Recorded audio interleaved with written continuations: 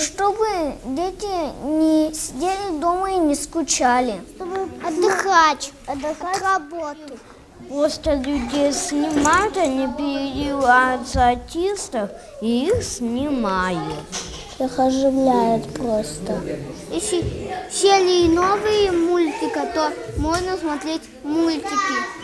А если новый мультик не загруживается, то придется смотреть кино. Кино только для взрослых, а мультики для детей только. А мой папа любит Звездные войны и Самурай Z. Мамы не смотрят мультики.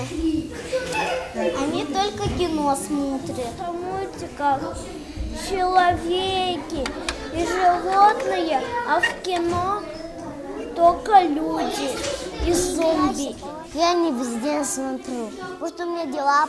А если ты хочешь долго смотреть, надо отойти по подальше и смотреть. Мультики интереснее всего. Там получают знания.